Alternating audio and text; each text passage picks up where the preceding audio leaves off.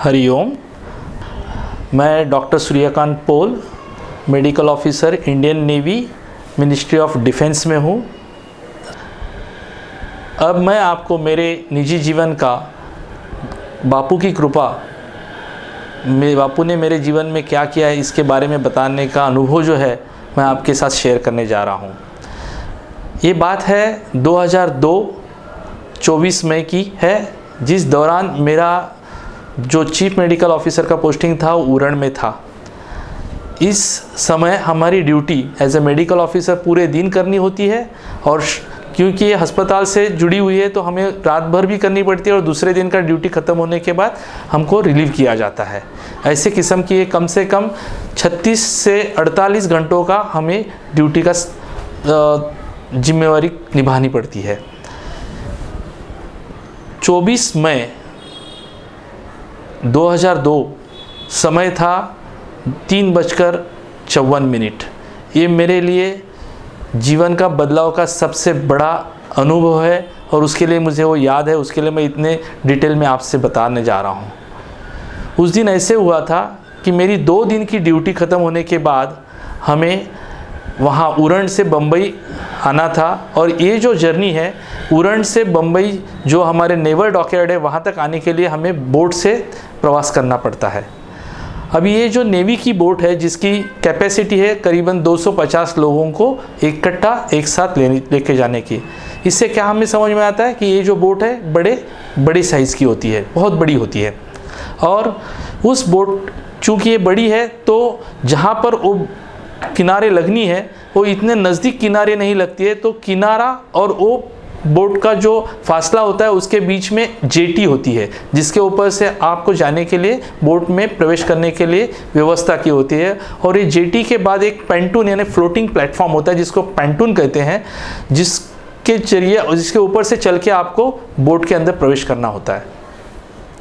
मेरा उस दिन ऐसे हुआ कि मेरी ड्यूटी ख़त्म होने के बाद, ये जो बोट वहाँ से निकलती है करीबन तीन बजकर पचपन मिनट के समय पे निकलती है और उस समय पर आहिस्ता आहिस्ता यात्री आने लगते हैं।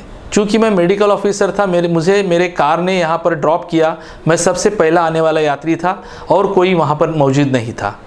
और मैं वैसे ही अपनी धुन में, अपनी बैग लेकर बोट में चढ़ने जा रहा हूँ और मुझे पता नहीं चला कि अचानक मेरा बैलेंस निकल गया और मैं पानी में गिर गया। यानी पेंटून और बोर्ड के बीच में जो एक फुट का फासला होता है, उस फासले के बीच में से मैं पूरी तरह से खड़े खड़े अंदर गिर गया।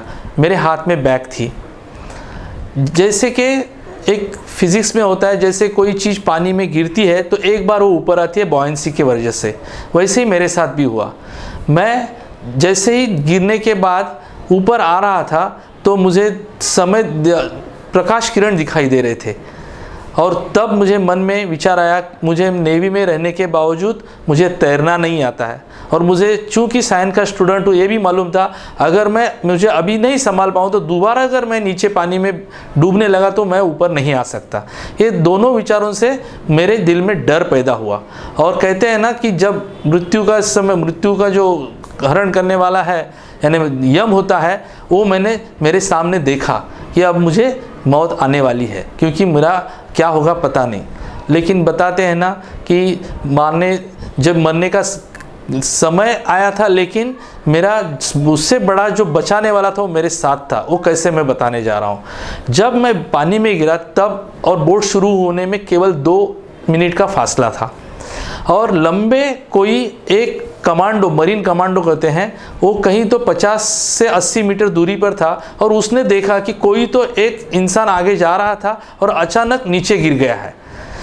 बिलीव करिए, ये 80 मीटर का फासला, वो आदमी वहाँ से दौड़ के आया और मैं फ़र्स्ट बॉयंसी की वजह से जैसे पानी से ऊपर आ रहा था और अगर मैं दोबारा वो मदद नहीं मिलती तो फिर से दोबारा पानी में जाने वाला था। यानी ये कितने सेकंड का फासला है? दो से तीन सेकंड का फासला हो सकता है। इन दो से तीन सेकंड के बीच में वो लंबे से आदमी दौड़ कर आया और मैं जैसे सरफेस पे आया पानी के तो उन्होंने क्या किया कि जो पंटून होता है, मैंने बच्चा फ्लोटिंग प्लेटफॉर्म होता है, उसको एक जगह पकड़ के रखने के लिए एक बड़ा सा रोप होता है। वो रोप का कोई एक कोना खाली था और वो कोना उसने पानी में जैसे फेंक दिया, जिस तरफ़ मैं ऊपर आया था, और मुझे कहा कि ये पकड़ लीजिए।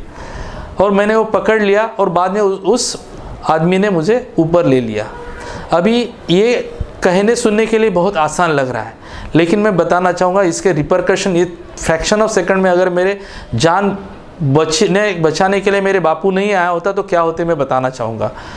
अगर उस दौरान प्रोपेलर शुरू हुआ होता पानी का यानी बोट का तो वो पानी में जो घूमने वाला फ़ैन होता है, जिसको प्रोपेलर कहते हैं, उसने मुझे खींच लिया होता और वो खींचने के बाद मेरी शरीर के छोटे छोटे टुकड़े हो जाते।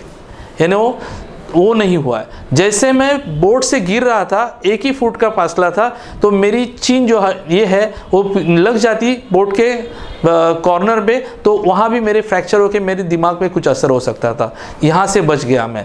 तीसरी बात, जैसे बॉइंसी से मैं ऊपर आ रहा था तो ये पानी के बहाव की वजह से मैं स्ट्रेट ऊपर नहीं आया तो बोट का जहाँ बॉटम था, उससे थोड़ी दूर ड्रिफ्ट होके गया और वहाँ से मैं ऊपर आ गया।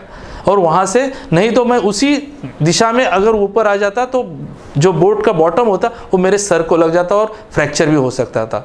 यानी केवल तीन से चार सेकंदों में ये सब घटनाएँ वहाँ हो सकती थी।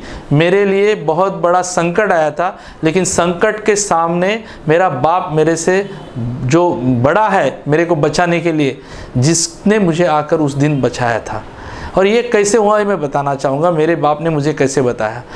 अपने साई चरित्र में लिखा है कि अपघाते जरी मी पाही चरण करीन रक्षण मी तयाचे तो मेरा हाल ऐसे हुआ था कि तब तक मैं बापू के पास नहीं आ रहा था। मेरे जो स्नेही है, सदानंद वर्तक जी, उन्होंने मुझे बार बार कहा था कि आप बापू के पास आइए। मैं केवल साहिब में मानने वाला भक्त था और तब तक मैं बापू के पास गया था तो केवल मेरे जो सहयोगी है, मेरे मित्र है, सदानंद वर्तक जी, उन्होंने मुझे स्पेशल जो ओकेजन होते हैं, बापू के यहाँ कार्यक्रम होते हैं, उस दौरान स्पेशल पास लेके मुझे वहाँ न्योता दे के बुलाया था और मैंने तब बापू के दर्शन लिए थे। केवल केवल कहते हैं ना कि उसके दर्शन हुए थे उसकी दृष्टि मेरे पे पड़ी थी और मैं उसका भक्त, उसने मुझे भक्त मान लिया था। तब तक मैंने उनको नहीं माना था अपना सदगुरु। लेकिन उसका अनुभव मेरे ज़िंदगी में जो हुआ है, ये मुझे बहुत बड़ी बात है मेरे लिए। क्योंकि ये घटना मेरे लिए कुछ सेकंड का फासला था। उस सेकंड में मुझे बचाने वाला अगर नहीं आता तो मैं आज आपके सामने बात करने के लिए खड़ा नहीं होता। इसकी प्रचिति भी हमें दी थी। जैसे बापू हमेशा कहते हैं कि आपने कुल देवत का मोटी आई का आप हमेशा प्रणाम करो, उसके प्रेम भाव में रहो। तो मेरे बारे में यही उसका दृष्टांत हुआ था। ये जो बात हुई थी, बराबर तीन बजकर मैं बोल रहा हूँ पैंतालीस या पचास मिनट की बात है, और उसके अढ़ाई बजे की समय पर, अढ़ाई बजे के समय पर मेरी माँ जब अपने घर में बम्बई में थी, तभी उसके सपनों में हमारी कुल देवत जो रेणुका हम, माता हम कहते हैं, उसने पूरे उस रूप में आके माँ जी को कहा था, बेटा, डर मत, मैं तुम्हारे साथ हूँ। लेकिन मम्मी को मेरे कुछ भी मालूम नहीं था, ये क्या इसका संदर्भ है। और ये घटना हुई 2002 24 अक्टूबर को। उसके बाद, उसके पहले छः महीने ही मेरे पिता का देहांत हुआ था। और ये घटना अगर मैं मेरी मम्मी को बताता हूँ तो पूरी डर जाएगी। उसके लिए मैंने दो दिन मम्मी को ये बताया नहीं था। लेकिन मेरे में जो बदलाव हुआ था कि मैं दो दिन उनसे गुमसुम था और दो दिन मेरे मम्मी मेरे को पूछ रही थी, क्या हुआ बेटा? आप दो तीन बात, दो तीन दिन बात नहीं कर रहे हो? तब जाके मैंने जब मम्मी को ये बात बताई, तभी मम्मी ने कहा, कब हुआ ये? तो मैंने जब ये घटनाक्रम उनको बताया, बराबर ये मेरा हादसा जो हुआ, उसके बराबर दो घंटे पहले मेरी कुल देवत जो है रेणुका माता, उन्होंने सपने में आके हमारे माता जी को दर्शन दे के पूरा बताया था कि कुछ डरना मत, मैं तेरे साथ हूँ। तभी मेरे माँ जी ने कहा कि देखो, अपने कुल देवत का हम जो हमारे साथ है। लेकिन मैं तो यही कहूँगा, मेरे कुल देवत था, लेकिन जो बचाने वाला आया था उस दौरान, जो नाविक था, वो केवल केवल मेरा सदगुरु था, जिसकी वजह से मैं इस बड़ी ज़िंदगी को ख़त्म करने वाली दुर्घटना से मैंने पीछे मुझे बचाया लगाया था। और इसके लिए मैं पापू का पूर्ण आभारी हूँ। अम्बद्य हूँ। हरिओम